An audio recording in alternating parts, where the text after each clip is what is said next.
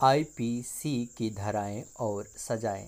इस वीडियो में हम आपको बताएँगे कौन सी अपराध करने पर क्या धारा लागू होता है और इसकी सज़ा क्या होती है। चलिए स्टार्ट करते हैं।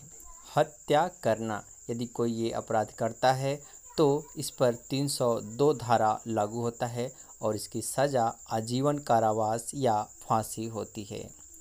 गैर इरादतन हत्या, यदि कोई ये अपराध करता है। गैर इरादतन हत्या तो इस पर 308 धारा लगाया जाता है और इसकी सज़ा तीन वर्ष की होती है। आत्महत्या का प्रयत्न करना। आत्महत्या का प्रयत्न करना। यदि कोई ये अपराध करता है तो इस पर 309 धारा लागू होता है और इसकी सज़ा एक वर्ष की होती है। ठगी करना। यदि कोई ये अपराध करता है तो इस पर 310 धारा लागू होता है और इसकी सज़ा आजीवन कारावास होता है। गर्भपात करवाना, यदि कोई ये अपराध करता है, गर्भपात करवाता है तो इस पर 312 धारा लागू होता है और इसकी सज़ा तीन वर्ष की होती है। जानबूझकर चोट पहुंचाना, यदि कोई ऐसा अपराध करता है तो इस पर 323 धारा लागू होता है और इसकी सज़ा एक वर्ष की होती है।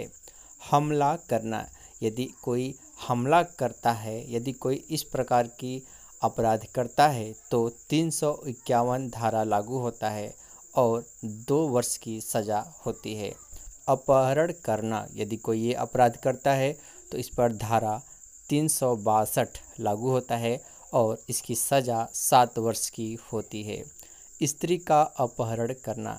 यदि कोई ये अपराध करता है तो तीन सौ तिरसठ धारा लागू होता है और इसकी सज़ा सात वर्ष और दंड भी दिया जाता है।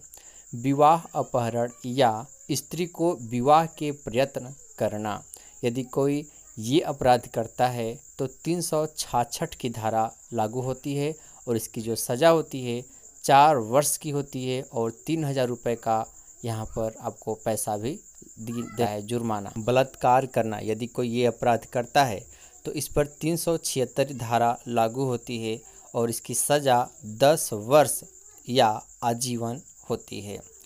चोरी करना, यदि कोई चोरी करना ऐसा अपराध करता है तो सात सौ उन्यासी धारा लागू होती है और इसकी सज़ा तीन वर्ष की होती है।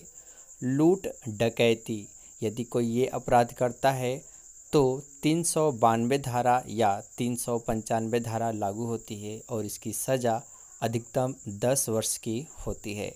डकैत के समय हत्या। यदि कोई ऐसा अपराध करता है तो तीन सौ छियानवे धारा लागू होता है और इसकी सज़ा दस वर्ष या आजीवन होती है। छल करना या धोखा देना। यदि कोई ऐसा अपराध करता है तो चार सौ सत्रह धारा लागू होती है और इसकी सज़ा एक वर्ष की होती है। तो दोस्तों, ये वीडियो आपको कैसा लगा कमेंट बॉक्स में ज़रूर बताइएगा।